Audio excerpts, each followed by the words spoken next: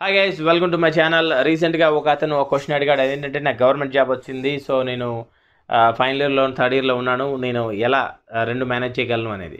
Right దానికి ఒక video చేశాను నేను రీసెంట్గా సో ఆ తర్వాత కూడా ఇంకో క్వశ్చన్ అడిగారు. ఏంటంటే అన్న స్టడీ లీవ్ అనేది ఒకటి ఉంటుందంట కదా ఆ స్టడీ లీవ్ గురించి కొంచెం చెప్పండి అనేది. సో గైస్ ఇక్కడ స్టడీ లీవ్ అనేది బేసికల్గా full famous in central government employees right central గవర్నమెంట్లో ప్రతి ఒక్క ఎంప్లాయీకి సెట్ కాదు. సెంట్రల్ గవర్నమెంట్లో ఆఫీసర్స్ ఉంటారు కదా అంటే గ్రూప్ ఏ లెవెల్ పోస్ట్ వాళ్ళకి వాళ్ళు ఎక్కువగా ఇది యూటిలైజ్ చేసుకుంటారు.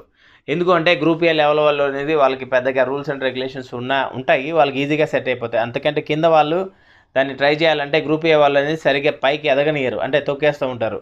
సో వాళ్ళు వాళ్ళకి ఎడ్యుకేషన్ పంపిస్తే వాళ్ళు మాకెక్కడ కాంపిటీషన్ అవుతారో నాలెడ్జ్ ఎక్కడ పెరిగిపోతుంది అనేది వాళ్ళకి పర్మిషన్స్ ఇవ్వరు.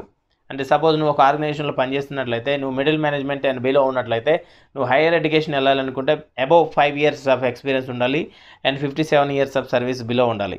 రైట్ అంటే నీ ఏజ్ సో అప్పుడే నువ్వు ఎవరు నాట్ ఎవరు ఎలిజిబుల్ అన్నట్టు. తర్వాత సో ఈ మధ్యలో మీ ఆఫీసర్స్ మీ హైయర్ లెవెల్ ఆఫీసర్స్ అనేది నువ్వు పోతే నీ పని ఎవరు చేస్తారని చెప్పేసి ఉద్దేశంతో వాళ్ళు మిమ్మల్ని పంపించరు.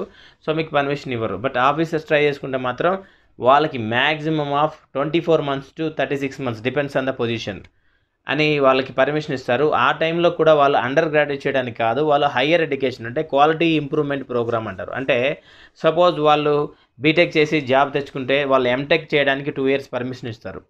రైట్ అక్కడ స్టైఫండ్ వస్తుంది ఇక్కడ శాలరీ కూడా వస్తుంది ప్యారలల్గా సపోజ్ నువ్వే ఒక యూనివర్సిటీలోనో ఎక్కడో పనిచేస్తున్నావు అనుకో బీటెక్ మీద ఎంటెక్ మీద మీకు జాబ్ వచ్చింది. సో మీరు పిహెచ్డి చేస్తే మీ రీసెర్చ్ వాల్యూస్ స్టూడెంట్స్కి బాగా ఉపయోగపడతాయి అనే ఉద్దేశంతో మిమ్మల్ని ఐఐటి ఎన్ఐటి ఆర్ అదర్ యూనివర్సిటీస్లో పిహెచ్డి చేయడానికి పంపిస్తారు. అక్కడ మీకు లిమిటెడ్ ఉంటుంది maximum of thirty six months twenty four to thirty six months ఆ టైంలో మీకు ఇక్కడ శాలరీ వస్తుంది అక్కడ శాలరీ వస్తుంది.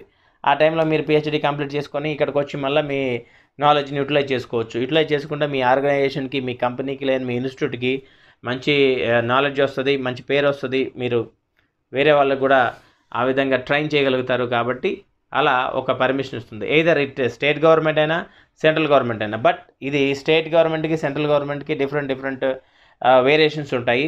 ఓకే కాబట్టి వాళ్ళ రూల్స్ అండ్ రెగ్యులేషన్ ప్రకారం మీరు ఫాలో అయ్యి ఈ స్టడీ లీవ్ అనేది తీసుకోవాల్సి ఉంటుంది.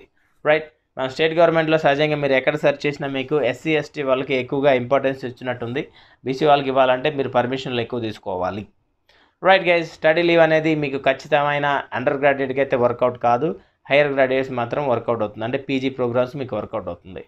రైట్ ఇది ఫైనల్గా నువ్వు చేస్తున్న ఆర్గనైజేషన్లో మీ పై ఆఫీసర్స్ మీకు ఇచ్చే పర్మిషన్ తర్వాతనే మీరు చేయగలుగుతారు. It is not compulsory it is not important వాళ్ళు పర్మిషన్ ఇస్తేనే నువ్వు వెళ్ళగలుగుతావు. లేకపోతే నువ్వు ఎన్ని సంవత్సరాలు ట్రై చేసినా వెళ్ళలేవు. ఎందుకంటే ఈ higher studies or study leave అనేది total entire your service suppose నువ్వు ఒక ఇరవై ముప్పై సంవత్సరాల్లో జాయిన్ అయితే ఇంకో అరవై సంవత్సరాలకు జాబ్ చేస్తావు కదా ఈ ముప్పై సంవత్సరాల్లో ఎప్పుడైనా నువ్వు దీన్ని వాడగలుగుకోవాలి. అంటే ఈ twenty four to thirty six months అనేది వాడతావు.